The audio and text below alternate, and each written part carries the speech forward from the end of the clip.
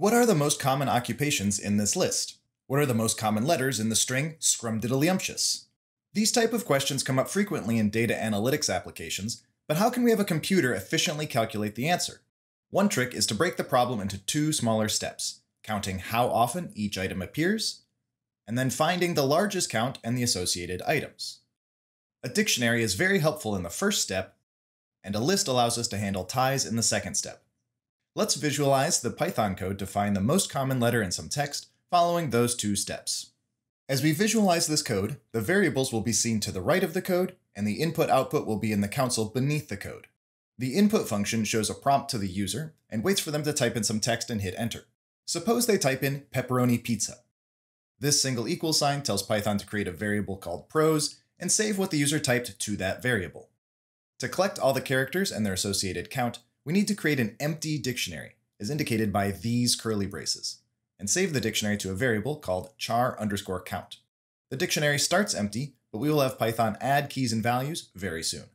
This first for each loop on line 3 repeats all the indented code after it down to line 7. The loop will create this variable called letter, and letter will step through every character in the prose variable, starting with the first character, a lowercase p. This conditional is the first code in the loop to run. The blue indented code on line 5 belongs to the if, and the red indented code on line 7 belongs to the else. To evaluate the condition, Python skips the not for now and looks at the rest of the expression. The in operator asks Python if the letter variable on the left exists as a key in the char count dictionary on the right. The dictionary is still empty, so it has no keys, and Python evaluates the expression to be false. Now Python looks at the not operator and inverts the false expression to be true. Because the condition of the if statement is true, Python runs line 5. This tells Python to store a key value pair in the dictionary, where the key comes from the letter variable, a lowercase p, and the value is the right side of the equal sign, a 1. In other words, the dictionary now has the information that we have seen the letter p one time. There is no more code in the if clause, and because the if statement was true, we skip the else clause. There is no more code in the for loop, so Python goes back to the top of the loop and steps the letter variable to the next character in prose, the lowercase e. In the loop, we evaluate the condition of the if statement. Python asks if the letter e is a key in the dictionary. It is not, so the in operator evaluates to false. The not operator inverts false to make the condition true. Because the if statement is true, we run the code on line 5, which stores the value 1 with the key e from the letter variable. After completing the if statement, we again skip the else statement, which takes us to the end of the loop, then back to the top.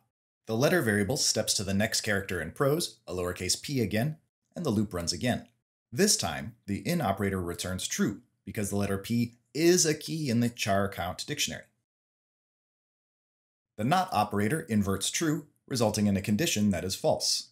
The false condition means we skip the code in the if statement and go down to the else statement and run the code on line 7.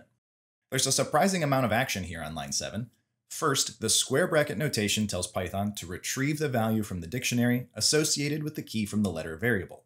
This means Python finds the value 1 that was associated with the letter p key.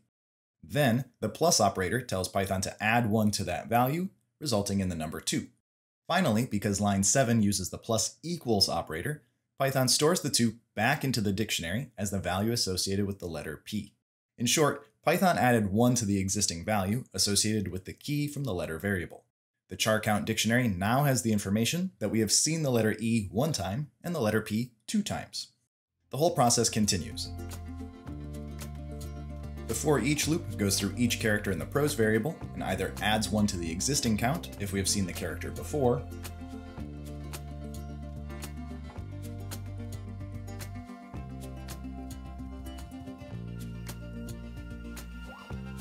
adds a new entry to the dictionary the first time we see a given character.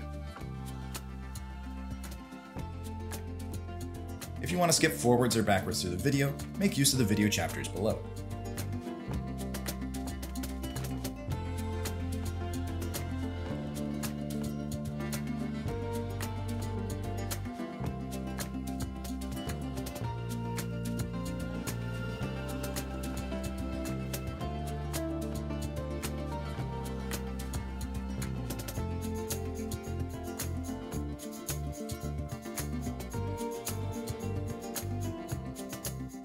The for loop has reached the end of the prose variable. With no more characters in it, the loop stops repeating. Lines 2 through 7 have efficiently counted all the characters in prose, and the results are in the char count dictionary. A neat feat for only 6 lines of code. Now, we need to have Python find the largest count value and one or more characters with that count. We will keep track of those characters in the most underscore common list, which we initialize with empty square brackets. We need another variable to keep track of the largest count value we have seen so far. We initialize largest to 0 because we have not looked at any counts yet. To go through all characters that we have counted, we use a second for each loop here on line 10. This loop happens to have the same loop variable name as before. The loop variable letter will step through all keys in the char count dictionary, in whatever order the dictionary happened to store them.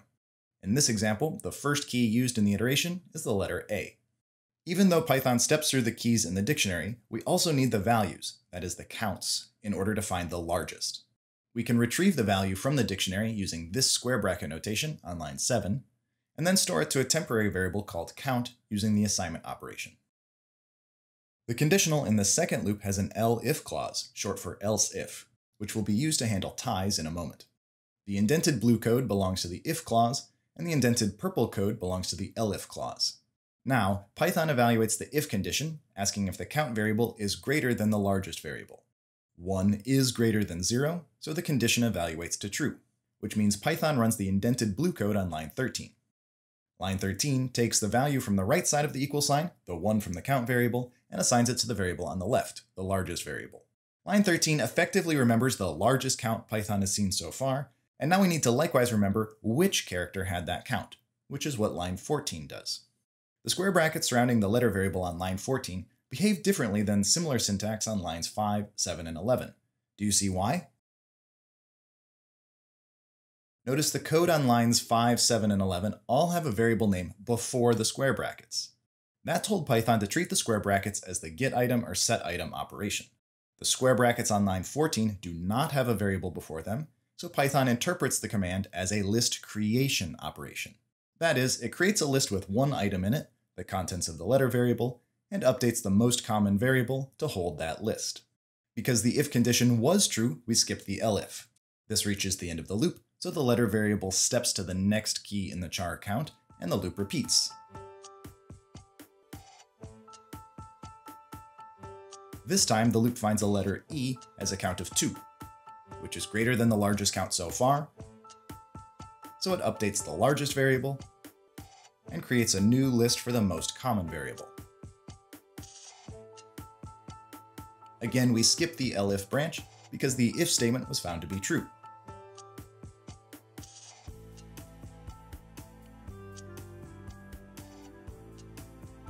The third time through the loop, Python evaluates that 2 is not greater than 2, so Python skips the if block and goes to the elif on line 15 to evaluate that condition. The elif condition is true, indicating we have a tie for the most common letter.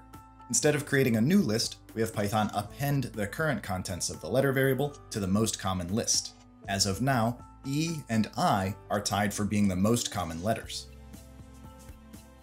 The next few keys from the dictionary that the loop steps through do not have a value greater than or equal to the largest count seen so far. This means both the if condition and the elif condition are false, causing Python to do nothing and just go on to the next key in the dictionary.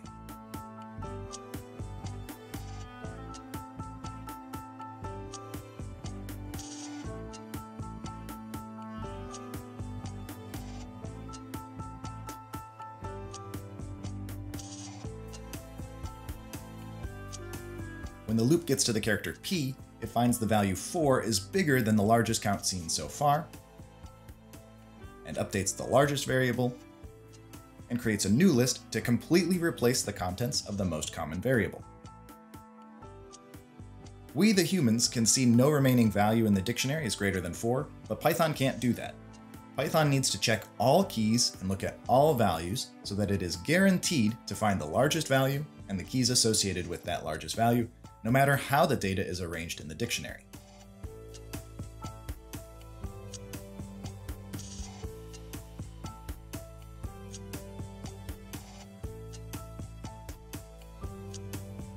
Eventually, the loop has no more keys to check in the char count dictionary, so the loop finishes, and Python goes to the last line of code which prints out a string literal, and the list, formatted with square brackets. Python has found the most common letter in pepperoni pizza to be the letter P. To recap, we broke down the problem into two steps, counting the characters using a dictionary, and finding the largest count and associated characters. The cool thing about using a dictionary like this is that if you needed to solve a similar problem, like finding the most common occupation from a list, the code is basically the same, except for making the variable names more relevant. Because these two steps are easily reusable, we sometimes call them coding patterns. Adding patterns like these to your programming toolkit makes planning and writing your code a lot easier. Happy learning!